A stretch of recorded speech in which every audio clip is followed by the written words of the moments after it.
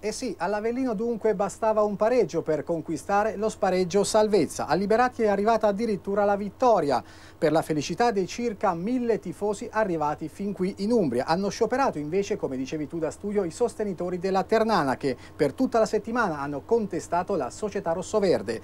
Sugli spalti solo molti striscioni al veleno, ma vediamo subito le immagini di un successo decisamente meritato. L'Avellino è più motivato naturalmente e con Budiaschi si affaccia per la prima volta dalla parte di Paoloni. La replica della Ternana è affidata a Corvia, due gol nelle ultime tre partite. Al 34esimo l'Avellino passa, Sussi per Dani Levisius, assist di Tacco e botta rabbiosa di Rastelli, 1-0. Davvero un bel gol, un gran bel gol questo di Rastelli che stiamo per rivedere, l'assist di Tacco di Dani Levisius e la botta perentoria che supera Paoloni. La gioia, come dicevamo, dei tanti tifosi irpini. Il raddoppio della squadra dell'Avellino allo scadere del primo tempo, anche in questo caso è splendida la deviazione di Millesi. Paoloni è battuto, la gioia contenuta di Colombo, il gol come detto di Millesi.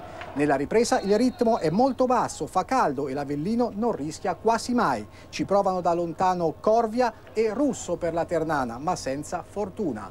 L'Avellino invece potrebbe anche realizzare il tris, stavolta è bravissimo Paoloni sulla conclusione ravvicinata di Vicari. Ancora Ternana nel finale di gara con il giovane Corvia, ecco che va via sulla destra il numero 11 e la conclusione che colpisce il palo. Non è davvero stagione per la squadra Umbra sprofondata già domenica scorsa in Serie C e adesso per l'Avellino di Franco Colomba comincia la settimana più bollente, quella che porterà allo spareggio contro l'Albino Leffe di Emiliano Mondonico. E è tutto dalla Liberati, linea allo studio a Franco Lauro. Grazie a Torello Brughini, abbiamo